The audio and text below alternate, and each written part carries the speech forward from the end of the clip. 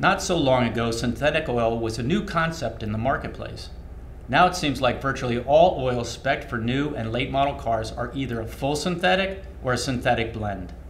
In today's episode of Inside the Brands, we'll discuss how you can tell if an oil is synthetic. The answer may surprise you.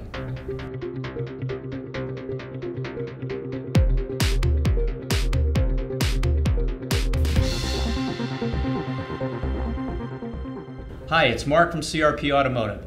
As I mentioned in the introduction, synthetic oil, that is, oil which consists of man made compounds, has really taken over the market, especially for newer vehicles.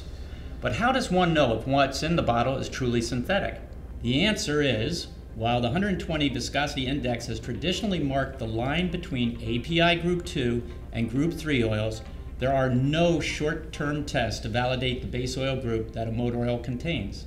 API Group 3 base oil, which while derived from natural crude oil, is refined to a point where it's considered a synthesized hydrocarbon. And because there is no short term test, it's impossible to tell if an oil that's labeled synthetic is indeed synthetic. Original equipment manufacturers, like Fuchs Lubricants, the manufacturer of Pentosin fluids, are primarily focused on first fill oils and invest heavily in their R&D departments and have a limited marketing budget while others that have no OEM first fills are focused on marketing their brands and not R&D or approvals. Marketing companies can at times muddy the waters on what are true synthetics and what are blends. So what to do? First, understand that full synthetic is really no more than a marketing term in North America. Where group 3 hydrocarbon oils are considered full synthetic, in some cases they can contain less synthetic chemicals than petroleum base oil. What really matters on the label are the OEM approvals, specs, and certifications that an oil brand has.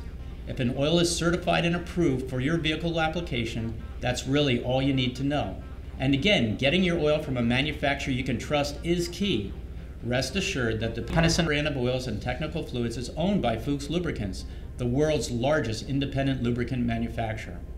Well, that's it for now. If you have a question on this video or any Pentosin fluids, feel free to post it below or on the CRP Automotive Facebook page. And don't forget to subscribe to our YouTube channel to be among the first to learn about new videos like this one. Thanks for watching.